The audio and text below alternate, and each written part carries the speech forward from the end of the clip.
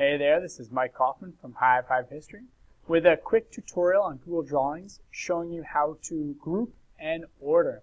So these are two key features when using Google Drawings um, that really allows you to do more with this uh, Google app. So instead of just creating uh, simple images to print or to show, by grouping and ordering, it allows you to create activities, allows you to move things around on Google Drawings and, and things sticking together, and so forth. So let me show you what I mean.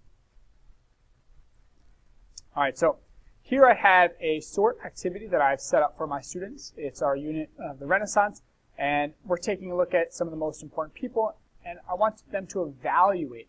Right, so we've already studied these people from the Renaissance, and I want them to evaluate um, how much of an impact they had on the time period.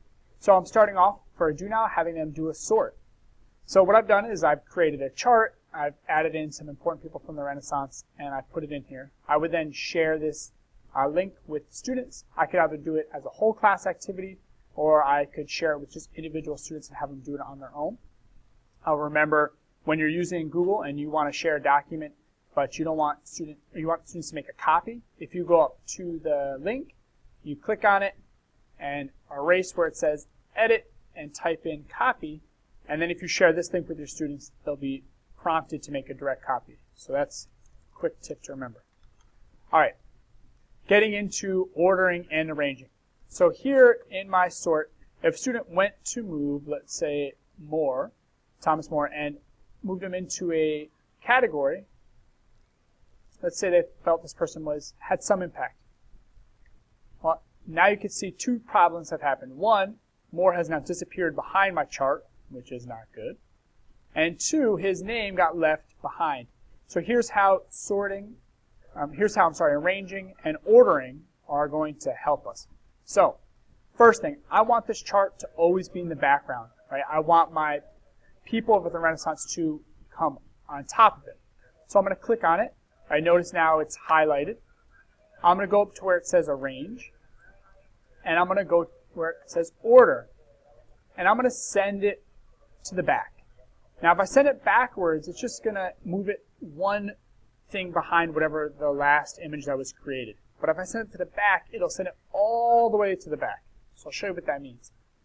I click there, and now More's uh, picture, the image of More, reappears.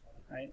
And now this will be the case for any of the other images. Right? It's all now going to go on top of my chart.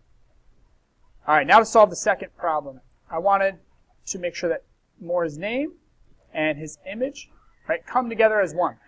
So what I'm going to do is I'm going to highlight both. I can do that simply by dragging my box around both and highlighting them that way. Or I can click on one, hold down my shift button, click on the second, and they're both highlighted.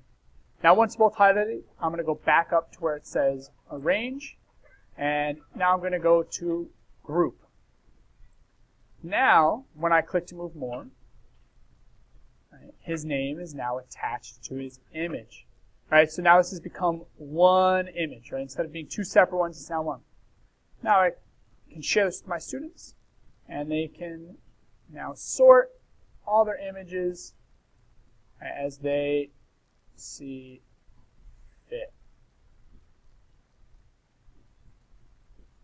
So there you have it. Um, two quick little tips on how to make Google Drawings work better for you by ordering and by arranging or grouping your images in Google Drawings. Hope it helps.